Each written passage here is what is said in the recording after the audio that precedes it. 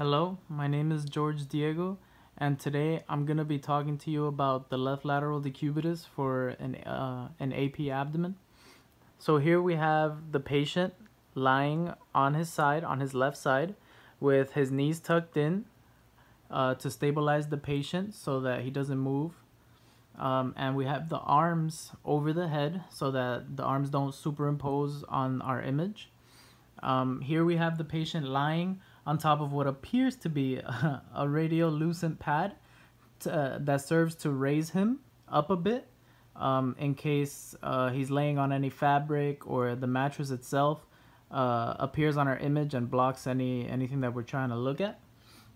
Back here we have the IR and the IR is in landscape. It's 14 by 17 inches. And the SID that we would use uh, is um, 40 inches, right? Here's the distance from the source to the IR. Um, uh, depending on which system we're using, if we're using an analog or a digital system, the KVP changes. Uh, well, very little. In an analog system, uh, the range is between 70 to 80 kVp, um, while in a digital system, it's around 80 kVp, but it can give or take uh, uh, 5. So it could be between 75 to 85. Uh, when it comes to the marker, um, for the marker, we'd put it above uh, on above the patient on the side opposite to the one that's laying down on the table. So since this is the left lateral, uh, the marker would be on top of the patient on the right side. Um, uh, the position that he's in right now is a recumbent position, lateral recumbent and you can see that you have to make sure that there is no rotation so that in the image the spine comes out straight and not curved.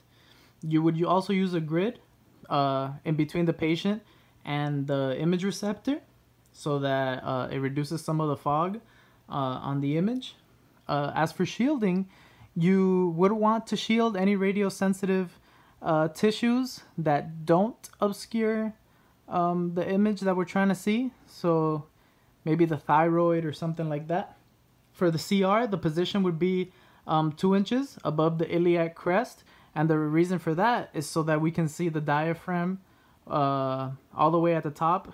And the anatomy that we're looking for here is the diaphragm. We're looking for the loops of the bowels and we're looking for um, the stomach. So here, uh, the purpose of this exam would be to check for any masses that have accumulated or the air fluid levels. Um, so that's about it. Thank you for your time.